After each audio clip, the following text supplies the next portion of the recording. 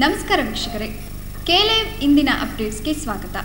ರಾಜ್ಯದ ಎಲ್ಲ ಬಸ್ ಸ್ಟ್ಯಾಂಡ್ಗಳಲ್ಲಿಯೂ ಪ್ರಯಾಣಿಕರಿಗೆ ಬೇಕಾಗುವ ಮೂಲ ಸೌಕರ್ಯಗಳಾದ ಶೌಚಾಲಯ, ಕುಡಿಯುವ ನೀರಿನ ವ್ಯವಸ್ಥೆ ಇರಬೇಕು. ಆದರೆ ಶಿವಮೊಗ್ಗ ಬಸ್ ಸ್ಟ್ಯಾಂಡ್ನಲ್ಲಿ ಕುಡಿಯುವ ನೀರಿನ ವ್ಯವಸ್ಥೆಯನ್ನು ರದ್ದುಗೊಳಿಸಿದ್ದಾರೆ. ಇದರಿಂದ ಪ್ರಯಾಣಿಕರಿಗೆ ಸಾಕಷ್ಟು ತೊಂದರೆ ಉಂಟಾಗುತ್ತಿದೆ. ಬೇಸಿಗೆ ಕಾಲದಲ್ಲಿ ಪ್ರಯಾಣಿಕರು ನೀರಿಗಾಗಿ ಹಾಹಾಕಾರಗೊಳ್ಳುವಂತಾಗಿದೆ. ಪ್ರಯಾಣಿಕರಿಗೆ ಬಾಯಾರಿಕೆಯಾದರೂ ಸಹ ಶುದ್ಧ ಕುಡಿಯುವ ನೀರಿನ ವ್ಯವಸ್ಥೆ ಶಿವಮೊಗ್ಗ ಬಸ್ ಸ್ಟ್ಯಾಂಡ್ನಲ್ಲಿಲ್ಲ. ಪ್ರಯಾಣಿಕರು ನೀರು ಕುಡಿಯಬೇಕೆಂದರೆ ಹಣ ಕೊಟ್ಟು ಅಂಗಡಿಯಿಂದ ನೀರಿನ ಬಾಟಲಿ ಕೊಂಡುಕೊಳ್ಳುವ ಪರಿಸ್ಥಿತಿ ಉಂಟಾಗಿದೆ.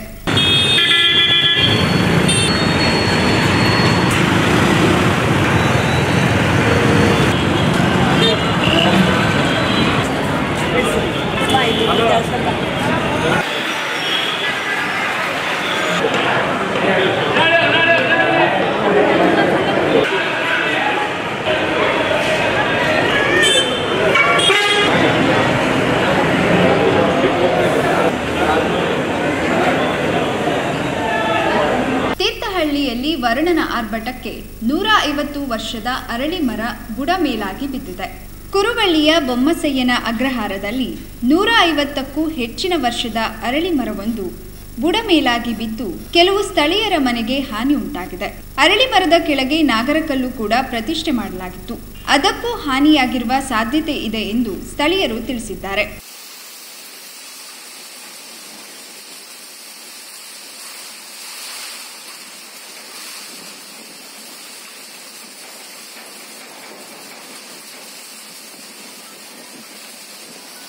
ಸಾಗರದ ಕುಗ್ಬೆ ಗ್ರಾಮದ ಸಂತೋಷ್ ಎಂಬ ಯುವಕ ಕಾಳಿಂಗ ಸರ್ಪವನ್ನ ಚೀಲಕ್ಕೆ ತುಂಬುತ್ತಿರುವ ದೃಶ್ಯ ಮೊಬೈಲ್ನಲ್ಲಿ ಸೆರೆ ಹಿಡಿಯಲಾಗಿದೆ. ಇಲ್ಲಿಯವರೆಗೂ ನಾವು ಉರಗ ತಜ್ಞರು ಹಾವುಗಳನ್ನು ಹಿಡಿಯುವುದನ್ನ ನೋಡಿದ್ದೇವೆ ಕೇಳಿದ್ದೇವೆ. ಆದರೆ ಸಾಗರದ ಕುಗ್ವೆ ಗ್ರಾಮದಲ್ಲಿ ಅಪರೂಪದ ಘಟನೆ ನಡೆದಿದೆ. ಕುಗ್ವೆ ಗ್ರಾಮದ ಕೃಷಿ ಕುಟುಂಬದ ಸಂತೋಷ್ ಈ ಸಾಹಸ ಮಾಡಿದ್ದಾರೆ. ವಿಶೇಷವೆಂದರೆ ಅವರು ಉರಗ ತಜ್ಞರಲ್ಲ. ಹಾವು ಹಿಡಿಯುವ ಕಲೆ ಗೊತ್ತಿಲ್ಲ. ಆದರೆ ಧೈರ್ಯದಿಂದ ಅತ್ಯಂತ ವಿಷಕಾರಿ ಕಾಳಿಂಗ ಸರ್ಪವನ್ನ ತಮ್ಮದೇ ತಂತ್ರದಿಂದ ಹಿಡಿದು ಚೀಲದೊಳಗೆ ಸೇರಿಸಿ ಅದನ್ನು ರಕ್ಷಿಸಿದ್ದಾರೆ. ಜನಕ್ಕೆ ಹಾವಿನ ಭಯ ನಿವಾರಣೆ ಮಾಡಿದ್ದಾರೆ. ಒಂದೆರಡು ಕಡೆ ಹಾವು ಹಿಡಿದು ಅಭ್ಯಾಸವಾದರೂ ಅದನ್ನು ಕರಗತ ಮಾಡಿಕೊಂಡಿರಲಿಲ್ಲ. ಕಾಳಿಂಗ ಸರ್ಪವನ್ನ ನೋಡಿ ಭಯ ಬೀಳದೆ ಅದಕ್ಕೂ ರಕ್ಷಣೆ ಕೊಟ್ಟು ಜನರಿಗೆ ನೆಮ್ಮದಿ ನೀಡಿದ್ದಾರೆ. ಅದಕ್ಕೆ ಹೇಳುವುದು, ಧೈರ್ಯಂ ಸರ್ವರ್ಥ ಸಾಧನಂ. ಸಂದೇಶ ಒಂದು ನಿಮಿಷ ಇರಮ್ಮ ನಮ್ಮ ಸ್ಟಾಪ್ ಒಂದಲ್ಲ, ಒಂದು ಹಾಕ್ತೀನಿ.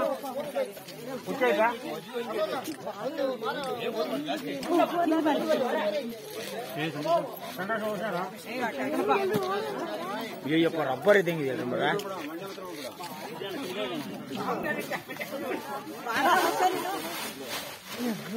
ಹೊಳೆಯನ್ನೂರು ಸಮೀಪದ ಶ್ರೀ ಕ್ಷೇತ್ರ ಕೂಡಲಿ ಸಂಸ್ಥಾನದ ಉತ್ತರಾಧಿಕಾರಿ ಶಿಷ್ಯ ಪರಿಗ್ರಹಣ ಸಮಾರಂಭ ಮೇ ಇಪ್ಪತ್ತೆರಡರಂದು ನಡೆಯಿತು.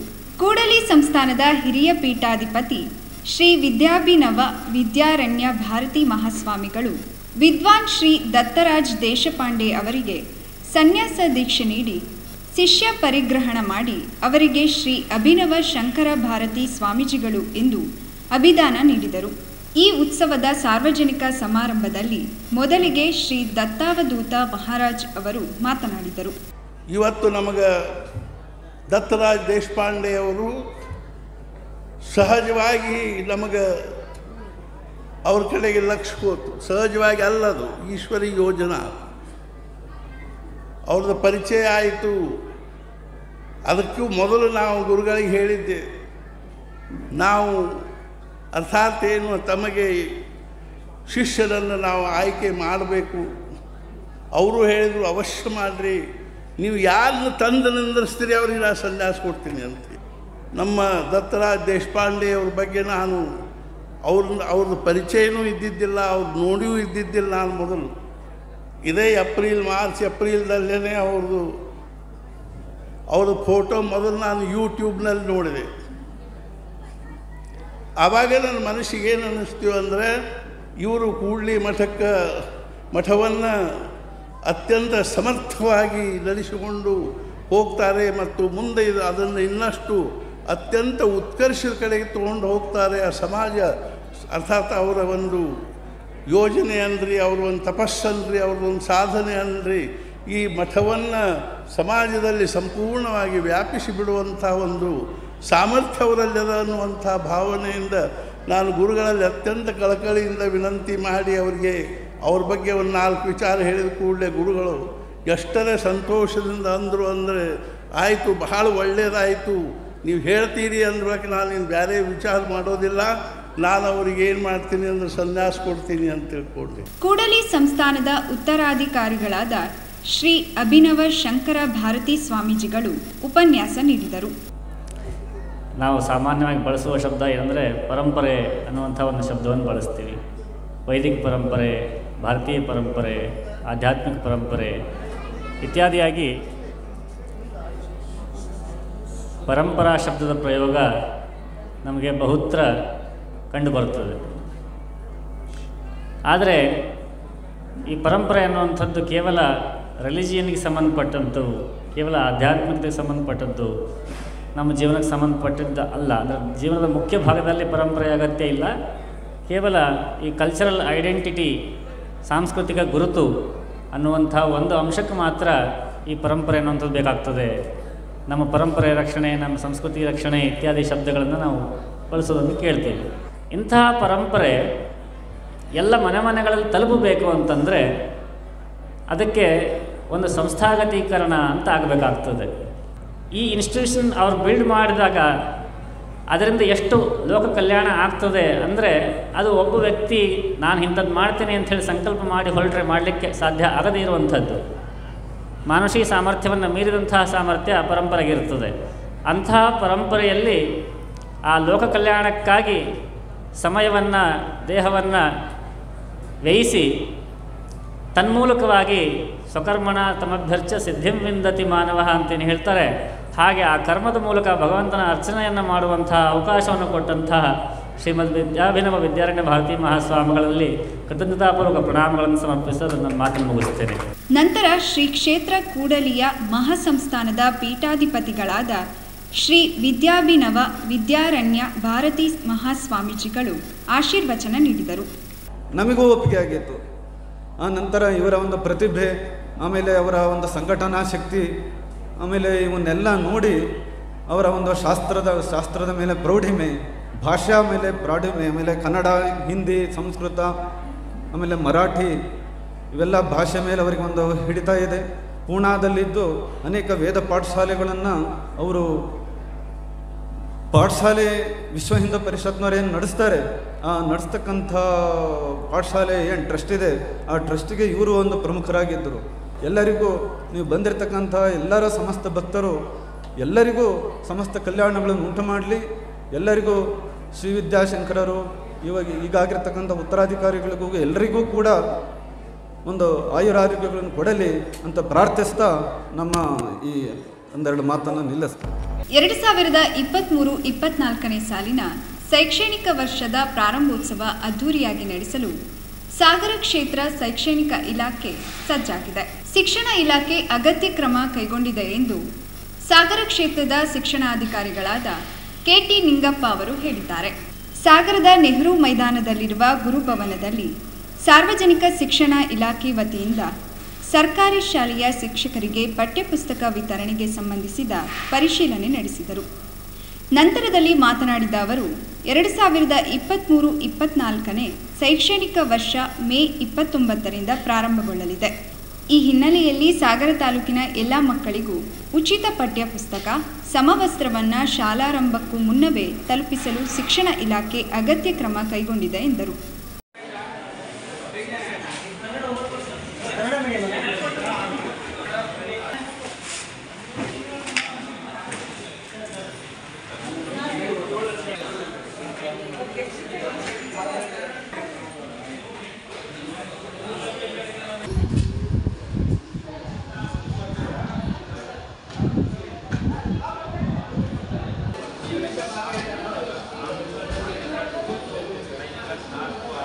ಸಾವಿರದ ಇಪ್ಪತ್ಮೂರು, ಇಪ್ಪತ್ನಾಲ್ಕನೇ ಸಾಲಿನ ಶೈಕ್ಷಣಿಕ ವರ್ಷ. ದಿನಾಂಕ ಇಪ್ಪತ್ತೊಂಬತ್ತು ಐದು ಎರಡ್ ಸಾವಿರದ ಇಪ್ಪತ್ತ್ ಮೂರಂದು ಪ್ರಾರಂಭ ಆಗ್ತದೆ. ಅದಕ್ಕೋಸ್ಕರ ಸಾಗರ ತಾಲೂಕಿನ ಶಾಲಾ ಶಿಕ್ಷಣ ಇಲಾಖೆಯಲ್ಲಿ ಏನು ನಮ್ಮ ಶಾಲಾ ಮಕ್ಕಳಿಗೆ ಉಚಿತ ಪಠ್ಯಪುಸ್ತಕ ಮತ್ತು ಸಮವಸ್ತ್ರ ಏನದು ದಿನಾಂಕ ಮೂವತ್ತೊಂದು ಐದು ಎರಡ್ ಸಾವಿರದ ಇಪ್ಪತ್ತ್ ಮೂರರಂದು ಶಾಲಾ ಪ್ರಾರಂಭೋತ್ಸವಕ್ಕೆ ತಲುಪಬೇಕು. ಅದಕ್ಕೆಲ್ಲ ನಾವು ಸಿದ್ಧತೆಯನ್ನ ಮಾಡ್ಕೊಂಡಿದ್ದೀವಿ ನಾವೀಗ. ಹಾಗಾಗಿ ನಮಗೆ ಶಾಲಾ ಪಠ್ಯಪುಸ್ತಕ ಮತ್ತು ಶಾಲಾ ಸಮವಸ್ತ್ರ ಮಕ್ಕಳಿಗೆ ಒನ್ ಟು ಟೆಂತ್ ಮಕ್ಕಳಿಗೆ ನಮಗೆ ಈಗಾಗಲೇ ಎಲ್ಲ ಪೂರ್ಣ ಸರಬರಾಜಾಗಿದೆ ಅದನ್ನ ನಾವು ದಿನಾಂಕ ಇಪ್ಪತ್ತೊಂಬತ್ತರ ಒಳಗೆ ನಾವು ಎಲ್ಲಾ ಶಾಲೆಗಳಿಗೂ ಸಹ ಶಾಲೆ ಶಾಲೆಗೆ ನಾವು ಅದನ್ನ ತಲುಪಿಸುವ ವ್ಯವಸ್ಥೆಯನ್ನ ನಾವೀಗಾಗಲೇ ನಮ್ಮ ಇಲಾಖೆ ವತಿಯಿಂದ ನಾವು ರೆಡಿ ಮಾಡ್ಕೊಂಡಿದ್ದೇವೆ. ದಿನಾಂಕ ಇಪ್ಪತ್ತೊಂಬತ್ತು ಮತ್ತು ಮೂವತ್ತನೇ ತಾರೀಕು ನಮ್ಮ ತಾಲೂಕಿನ ಎಲ್ಲಾ ಶಾಲೆಗಳಲ್ಲಿ ನಮ್ಮ ಶಿಕ್ಷಕರು ಶಾಲಾ ಸ್ವಚ್ಛತೆಯನ್ನ ಮಾಡ್ಕೊಳ್ಲಿಕ್ಕೆ ನಾವೀಗಾಗಲೇ ದಿನಾಂಕ ಇಪ್ಪತ್ನಾಲ್ಕನೇ ತಾರೀಕು ನಾವೆಲ್ಲ ಮುಖ್ಯ ಶಿಕ್ಷಕರ ಸಭೆಯನ್ನು ಕರೆದು ಅವರಿಗೆ ತಿಳಿ ಹೇಳ್ತೇವೆ. ಇನ್ನ ದಿನಾಂಕ ಇಪ್ಪತ್ತೈದನೇ ತಾರೀಕು ಮೊನ್ನೆ ಡಿ ಡಿ ಪಿ ಅವರು ಮೊನ್ನೆ ಎಲ್ಲ ತಾಲೂಕಿನ ಪ್ರೌಢಶಾಲಾ ಮುಖ್ಯ ಮುಖ್ಯ ಶಿಕ್ಷಕರಿಗೆ ಸಭೆಯನ್ನು ಕರೆದು ಅವರು ಅಲ್ಲಿ ಮಾಹಿತಿಯನ್ನು ನೀಡಿದ್ದಾರೆ. ಹಾಗೆ ನಾವು ದಿನಾಂಕ ಮೂವತ್ತೊಂದಕ್ಕೆ ಮೊನ್ನೆ ಶಾಸಕರನ್ನ ಆಹ್ವಾನಿಸಿ ಯಾವುದಾದ್ರೂ ಒಂದು ಶಾಲೆಯಲ್ಲಿ ನಾವು ಪುಸ್ತಕ ಮತ್ತು ಪಠ್ಯ ಪುಸ್ತಕ ಮತ್ತು ಸಮವಸ್ತ್ರ ವಿತರಣೆಯೊಂದಿಗೆ ಮಕ್ಕಳಿಗೆ ಸಿಹಿ ಹಂಚಿ, ಗುಲಾಬಿನ ಅಥವಾ ಹೂ ಕೊಡೋದ್ರ ಮೂಲಕ ಅಥವಾ ಒಳ್ಳೆಯ ಸ್ವಾಗತವನ್ನ ಮಾಡುವಂತಹ ಕಾರ್ಯಕ್ರಮವನ್ನ ಹಮ್ಮಿಕೊಳ್ಳುವಲ್ಲಿ ನಾವು ಈಗ ನಿರ್ಧಾರ ಮಾಡಿದ್ದೇವೆ. ಹೀಗಾಗಿ ನಮ್ಮ ತಾಲೂಕಿನಲ್ಲಿ ಎರಡ್ ಸಾವಿರದ ಇಪ್ಪತ್ಮೂರು ಮತ್ತು ಇಪ್ಪತ್ನಾಲ್ಕನೇ ಸಾಲಿನ ಪ್ರಾರಂಭೋತ್ಸವಕ್ಕೆ ಬಹಳ ವಿಜೃಂಭಣೆಯಿಂದ ನಮ್ಮ, ಆ, ಎಲ್ಲಾ ಸ್ನೇಹಿತರು ನನ್ನ ಜೊತೆಗಿರ್ತಕ್ಕಂಥ ಎಲ್ಲಾ ಸಿಬ್ಬಂದಿ ವರ್ಗದವರು ಮತ್ತು ಮೇಲ್ವಿಚಾರಕ ಸಿಬ್ಬಂದಿಯವರು, ನೌಕರರು ನಮಗೆ ಸಪೋರ್ಟ್ ಮಾಡ್ತಾ ಇದ್ದಾರೆ. ಹಾಗಾಗಿ ತಾಲೂಕಿನ ಎಲ್ಲಾ ಶಾಲೆಗಳಿಗೂ ಕೂಡಲೇ ನಾವೆಲ್ಲ ಉಚಿತ ಪಠ್ಯಪುಸ್ತಕ ಮತ್ತು ಸಮವಸ್ತ್ರಗಳನ್ನ ಹಂಚ್ತೇವೆ. ಆ ದಿನವೇ ನಾವು ಮಕ್ಕಳಿಗೆ ತಲುಪುವ ರೀತಿಯಲ್ಲಿ ಕಾರ್ಯಕ್ರಮವನ್ನು ಹಮ್ಮಿಕೊಂಡಿದ್ದೇವೆ ಇಂದು ಶಿವಮೊಗ್ಗದ ಹೊಸಮನೆಯ ಅಂತರಘಟ್ಟಮ್ಮ ದೇವಿಯ ಜಾತ್ರಾ ಮಹೋತ್ಸವ ಕಾರ್ಯಕ್ರಮ ಅದ್ದೂರಿಯಾಗಿ ನಡೆಯಿತು. ಈ ಪ್ರಯುಕ್ತ ದುರ್ಗಿಗುಡಿಯ ಶ್ರೀರಾಮ ಮಂದಿರದಿಂದ ಗಂಗೆ ಪೂಜೆ ನೆರವೇರಿಸಿ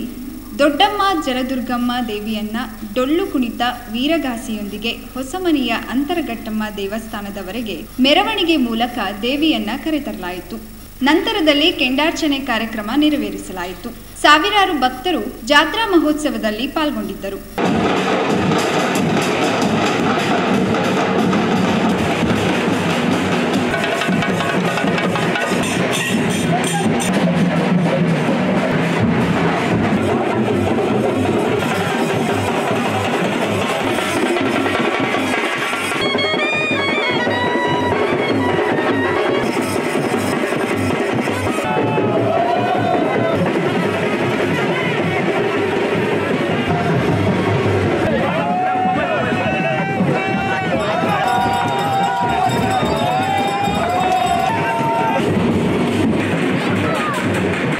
ಹೊಸಮನೆ ಬಡಾವಣೆಯಲ್ಲಿ ಇರ್ತಕ್ಕಂಥ ಶ್ರೀ ಅಂತರಘಟ್ಟಮ್ಮ ತಾಯಿ ದೇವಿಯ ಜಾತ್ರೆಯು ಇಪ್ಪತ್ತೆರಡು ಇಪ್ಪತ್ತ್ಮೂರು ಇಪ್ಪತ್ನಾಲ್ಕನೇ ಆ, ಮೂರು ದಿನಗಳ ಕಾಲ ತುಂಬಾ ವಿಜೃಂಭಣೆಯಿಂದ ನಡೆ ನಡೆದಿದೆ. ಏನು ಕರೋನಾ ಕಾರಣದಿಂದಾಗಿ ನಾಲ್ಕು ವರ್ಷದಿಂದ ತಾಯಿಯ ಜಾತ್ರೆಯನ್ನು ಮಾಡಲಿಕ್ಕೆ ಸಾಧ್ಯ ಆಗಿರಲಿಲ್ಲ. ಆದರೆ ಈ ಬಾರಿ ದೇವಸ್ಥಾನದ ಕಮಿಟಿಯರು, ಸದಸ್ಯರು ಅಧ್ಯಕ್ಷರು, ಸದಸ್ಯರು ಎಲ್ಲರೂ ಸೇರಿ ಹಾಗೂ ಹೊಸಮನೆ ಬಡಾವಣೆಯ ಜನತೆ ಎಲ್ಲರ ಒಂದು ಸಹಕಾರದೊಂದಿಗೆ ಈ ವರ್ಷ ವಿಜೃಂಭಣೆಯಿಂದ ಈ ಒಂದು ಅಂತರಘಟ್ಟಮ್ಮ ತಾಯಿಯ ದೇವಿಯ ಜಾತ್ರಾ ಮಹೋತ್ಸವವನ್ನು ಈಗಾಗಲೇ ನೆರವೇರಿಸಿದ್ದೀವಿ ಇವತ್ತು ತಾಯಿ, ಅಂತರಘಟ್ಟಮ್ಮ ತಾಯಿಯ ಕೆಂಡದಾರ್ಚನೆ ಕೂಡ ಇತ್ತು. ಏನು ಪ್ರತಿ ಬಾರಿ ಹರಕೆ ಹೊತ್ತಿರ್ತಾರೋ ತಾಯಿ ಅಂದ್ರಗಟ್ಟಮ್ಮ ಇಲ್ಲಿನ ಹೊಸಮನೆ ಬಡಾವಣೆ ಜನರಾಗಿರ್ಬೋದು. ಅಲ್ಲಿ ಬರ್ತಕ್ಕಂಥ ಭಕ್ತಾದಿಗಳ ಒಂದು ಏನು ಹರಕೆ ಹೊತ್ತಿರ್ತಾರೋ ಅದನ್ನು ಖಂಡಿತವಾಗಿಯೂ ನೆರವೇರಿಸ್ತಾರೆ. ಆ ಹರಕೆ ಒಟ್ಟು ಒತ್ತಂತಹ ಮಹಿಳೆಯರು ಹಾಗೂ ಎಲ್ಲರೂ ಇವತ್ತು ಕೆಂಡ ಕೆಂಡವನ್ನು ತುಳಿದು ತಾಯಿಯ ಸೇವೆಯನ್ನು ನೆರವೇರಿಸಿದ್ದಾರೆ. ಹಾಗೆ ವಿಜೃಂಭಣೆಯಿಂದ ಈ ಒಂದು ಕಾರ್ಯ ನೆರ ಈಗಾಗಲೇ ನೆರವೇರ್ತಾ ಇದೆ. ಬಂದಂತಹ ಭಕ್ತಾದಿಗಳೆಲ್ಲರಿಗೂ ಕೂಡ ತಾಯಿ ಸನ್ಮಂಗಳವನ್ನು ಉಂಟು ಮಾಡಲಿ ಅಂತ ದೇವಿ ಹತ್ರ ಬೇಡ್ಕೊತಾ ಇದ್ದಾರೆ.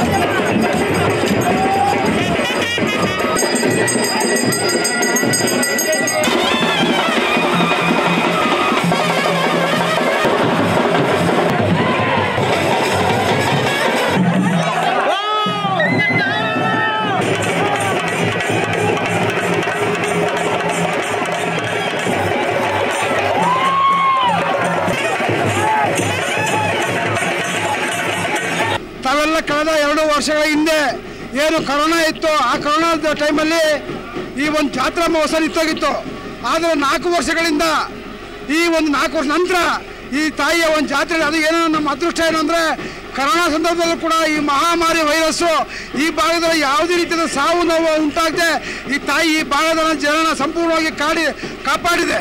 ಆದ್ದರಿಂದ ಈ ಬಾರಿ ತಾಯಿ ಅಂತರ್ಘಟ್ಟಮ್ಮ ಕೆಂಡದ ಒಂದು ಅರ್ಚನೆ ಮತ್ತು ಒಂದು ಜಾತ್ರಾ ಮಹೋತ್ಸವ ತುಂಬ ಶ್ರದ್ಧಾ ಭಕ್ತಿಯಿಂದ ಇವತ್ತು ನೆರವೇರಿದೆ. ಈಗ ಭಾಳಷ್ಟು ಜನ ಮಕ್ಕಳಾಗ್ತಾ ಇರೋರು ಇಲ್ಲಿ ಬಂದು ಬೇಡ್ಕೊತಾರೆ. ಆಮೇಲೆ ಬೇಕಾದಷ್ಟು ಆಸೆ ಆಮಿಷಗಳನ್ನ ಇರ್ಬೋದು.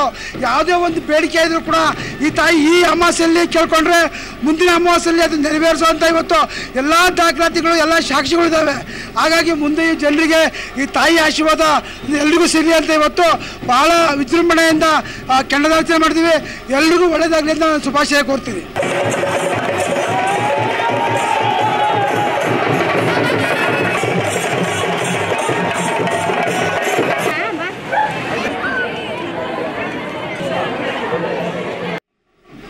ಅಂತರಘಟ್ಟಮ್ಮ ದೇವಸ್ಥಾನದ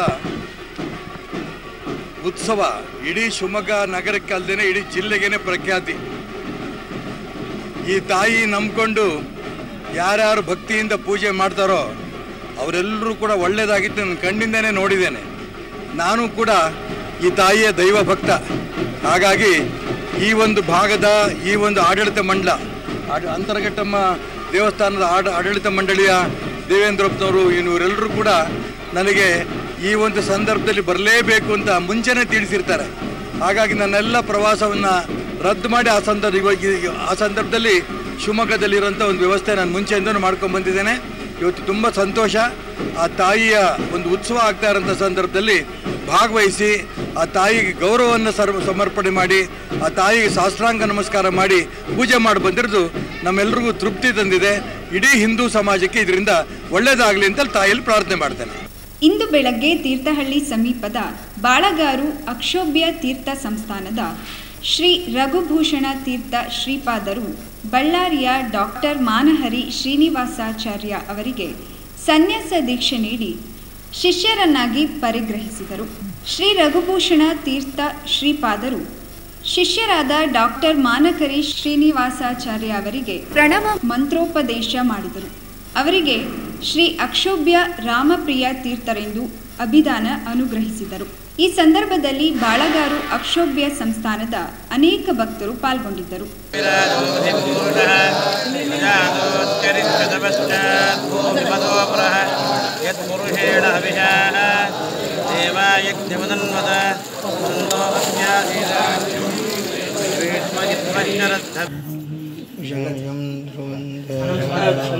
ಅನೌನ್ಸ್ ಮಾಡ್ಬಿಡಿ ಅನೌನ್ಸ್ ಮಾಡಿ.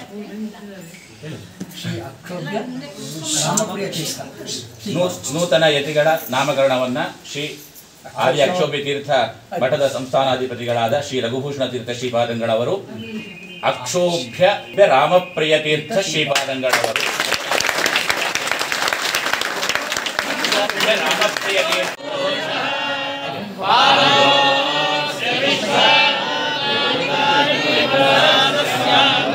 ನಿಮ್ಮ ಊರಿನ ಸುದ್ದಿ ಮಾಹಿತಿ ವಿಡಿಯೋ, ಫೋಟೋಗಳನ್ನು ನಮಗೆ ಕಳಿಸಿ.